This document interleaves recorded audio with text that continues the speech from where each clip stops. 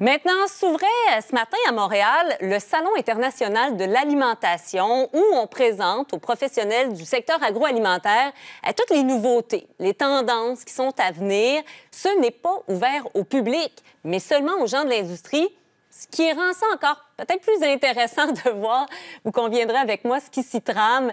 Euh, ce midi, on reçoit donc Isabelle Marquis. Elle est experte en alimentation, experte en alimentation, coprésidente du jury canadien SIA l'Innovation 2024. Bonjour à vous. Bonjour à vous. Comme membre du jury, vous avez testé, euh, je veux que vous nous parliez des nouveautés, à commencer par, entre autres choses, un sorbet à la bière. Oui. En fait, sur euh, le jury cette année, on a été gâtés. On a eu un peu plus de 200 produits qui ont été inscrits, qui provenaient de 17 pays différents. Et le, dans notre top 10, euh, donc les 10 finalistes, 5 des 10 finalistes sont des produits québécois, dont celui que vous venez de nommer, qui s'appelle Sorbière, qui a été créé en fait par deux entreprises de l'Estrie, un spécialiste de gelato et sorbet et une microbrasserie, le Boc et Bière, qui nous offre donc un véritable sorbet à la bière. Donc la base est un un vrai sorbet à base de purée de fruits euh, qui contient aussi donc de la bière. Et le gros de l'innovation est beaucoup dans le procédé de fabrication parce que de surgeler de l'alcool, on le sait, c'est pas très, euh, c'est pas évident à faire. donc ils ont réussi à trouver le moyen de rendre le produit. Pas. Ouais. non, non, absolument. Mais ils ont trouvé le moyen de rendre le produit très homogène. Et ce qui est particulier de ce produit-là, si vous y goûtez, il vient juste d'être lancé. Donc c'est vraiment une grande nouveauté. La présence de bière, euh, le petit côté effervescent de la bière donne une texture un peu mousseuse au sorbet, euh, hmm. ce qui est vraiment nouveau, très créatif. Je pense que ça va faire un peu un buzz autour des piscines cet été. Je veux que vous nous parliez aussi d'autres produits. Je voyais entre autres choses euh, des bons plats asiatiques, des soupes, même des, sushis, des sushis qu'on peut assembler nous-mêmes. Qu'est-ce qu'il y en a?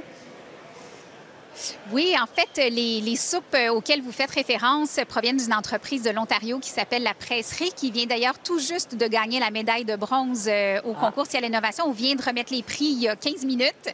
Euh, donc, belle gamme de soupes d'inspiration asiatique, très authentique, faite d'ingrédients complètement naturels. Et ce qui est vraiment intéressant de la gamme de soupes de La Presserie, c'est que les ingrédients sont frais. Donc, et, et la mise en marché, le produit est surgelé. Euh, et euh, le bouillon a été pré-surgelé. Ensuite, ils ont déposé sur le dessus du bouillon des légumes, euh, des, du tofu, des champignons, différents ingrédients mm. pour ensuite l'emballer avec un emballage qu'on appelle skin pack, donc qui vient épouser comme un lycra l'ensemble des ingrédients. L'effet visuel est magnifique. En plus, les produits sont vraiment très bons. Et le kit de sushi auquel vous faites référence, qui était une belle curiosité pour le, pour le jury, nous provient de la Chine. Et c'est un, vraiment euh, dans, le concept du... Euh, DIY, donc do it yourself, euh, à faire à la maison. Donc, ils, ont réussi à surgeler parfaitement chacune des composantes d'un sushi hmm. avec le kit d'instruction, pas juste écrit, mais que vous pouvez utiliser sur vos téléphones intelligents aussi. Donc, la possibilité de se faire des sushis professionnels à la maison en quelques minutes au lieu mm. de quelques heures. C'est ce que cette entreprise-là nous propose. Et, tout ça, est-ce qu'on va retrouver ça dans les supermarchés au Québec bientôt? Alors, ça dépend des produits. Évidemment, les produits d'entreprises québécoises euh, sont les plus susceptibles de se retrouver sur nos tablettes euh, rapidement. La plupart des produits ont été lancés soit en avril dernier ou dans les derniers mois. Donc, c'est tout nouveau. Euh, les collations YouPick, vous allez les trouver aussi. En tout cas, bref, il y a plein de belles choses à découvrir.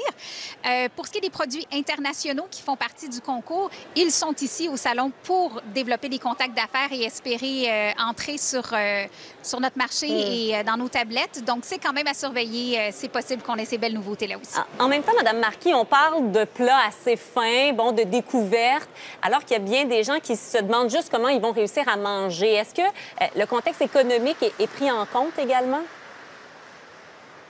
En fait, je vous dirais que ça, ça a paru dans plusieurs des innovations qui ont été présentées au concours cette année. Oui, il y avait beaucoup de créativité. Oui, on a un certain nombre de produits qui sont très sophistiqués mm. et sans doute avec un coût particulier. Ce n'était pas un, un critère euh, discriminant pour, euh, pour le jury que le produit soit accessible d'un point de vue coût.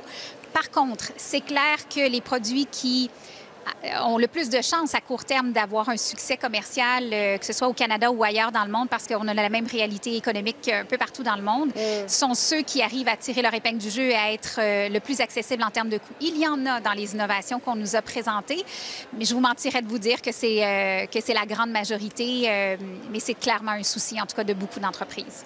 Isabelle Marquis, experte en alimentation, merci infiniment d'avoir été avec nous. Ça me fait. Au revoir. Avec grand plaisir.